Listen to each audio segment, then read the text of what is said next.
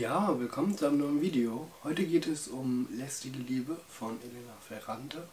Das Ganze ist ihr Debütroman, der aber neu übersetzt und in einer Neuauflage nochmal erschienen ist im Surkamp Verlag. Wir tauchen hier ein in die Geschichte von Delia und Amalia, wobei Delia unsere Hauptperson und die Tochter von Amalia ist, die eben dem Tod ihrer Mutter auf den Grund geht denn Amalia ist ertrunken und die Frage ist freiwillig, also aus Unfall sozusagen, oder halt mit Gewalteinwirkung. Bei der Obduktion wird nichts gefunden, aber Delia glaubt trotzdem, dass es sich um einen Mord gehandelt haben muss. Wir tauchen hierbei ein, ganz interessant, in das Italien des vergangenen Jahrhunderts, als es zum Beispiel noch nicht den Euro gab sondern die italienische Lira.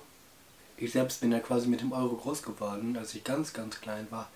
Da konnte man irgendwann Euro eintauschen für D-Mark. Da hat man so, ein, so eine Art Starter-Set irgendwie bekommen. Von jeder Münze eines.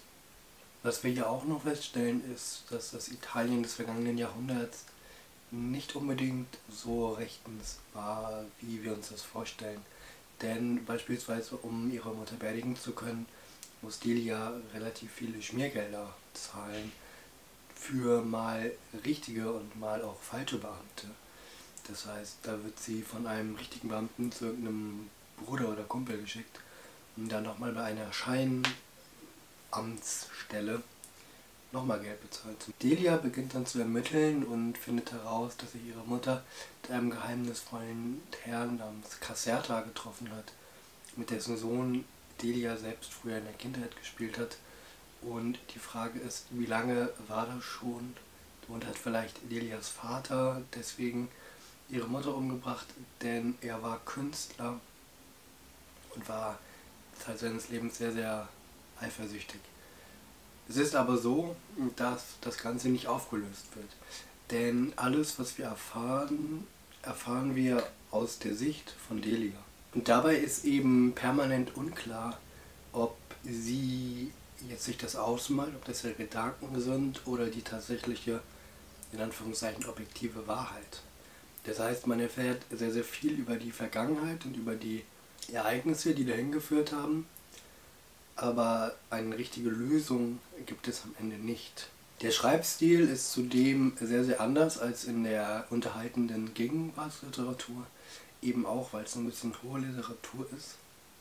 Denn es gibt sehr lange Beschreibungsphasen, sehr viele Wörter, Sätze, teils Seiten, ohne dass die Handlung eigentlich vorangeht. Das bei einem Buch, was nur etwa 200 Seiten hat, es erinnert mich so ein bisschen an Bücher, die ich in der Schule gelesen habe, wie zum Beispiel Buddenbrooks von Thomas Mann. Das ist auch ein sehr, sehr dickes Buch im Gegensatz zu äh, diesem schmalen hier. Und da wird auch sehr viel beschrieben. Nur, dass da die Handlung auch vorankommt. Und hier ist die Handlung, muss man sich darauf einlassen, dass sie sehr langsam, also sie kommt voran, aber nur sehr langsam.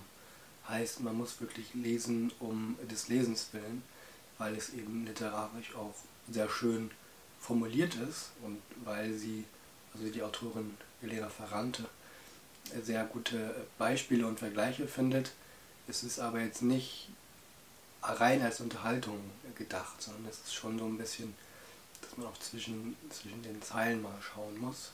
Denn wenn man es als Chronik Italiens des vergangenen Jahrhunderts liest, ne, weil wir erfahren ja, immer in Rückblenden, wie es Amalias Vater und auch Großvater und die hatten zum Beispiel einen Kolonialwarenladen und so weiter.